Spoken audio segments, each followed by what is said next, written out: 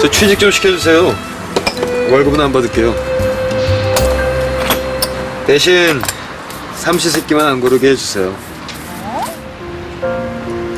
지금 저한테 청혼하시는 거예요? 영원히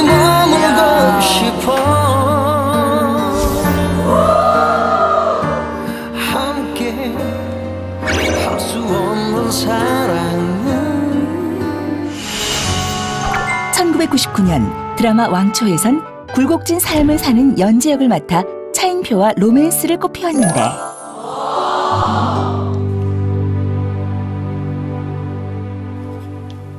결혼해요 우리.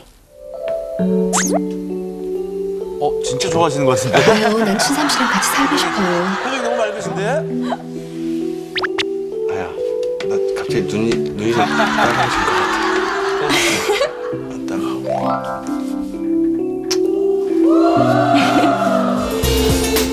그리고 2001년엔 드라마 호텔리어에 출연. 극 중에서 덜렁거리고 빈틈 많은 호텔 지배인 진영 역을 맡아 배용준과 러브라인을 형성하고 아 눈좀 쓰세요. 오. 자, 눈을 잡고. 아무한테도 방해받지 않고 진영 씨하고만 얘기하고 싶어요. 세상 사람 뭐라 하든 상관 말고 내 얘기를 들어.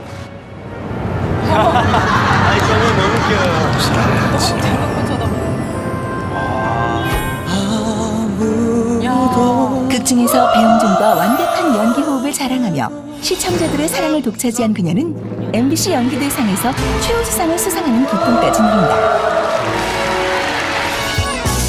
또한 같은 해 2001년 드라마 반달곰 내 사랑에 출연. 극중에서 그녀는 음악 선생님 정은 역을 맡아 김국진과 풋풋한 로맨스를 펼치고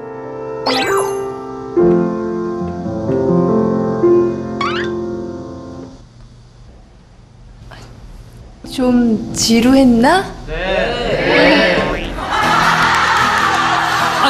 아니 벌써 끝난 겁니까? 야 정말 아름답습니다. 아직 하원성도 남았는데. 아 그래요? 하지만 서로 다른 음악 취향을 극복하고 커플로 발전한 두 사람. 근데 저 화나는 일이 있습니다. 왜 단식 투쟁 같은 걸 합니까? 그거 왜요? 그 누구 마음대로 그 목숨을 걸고 그래요?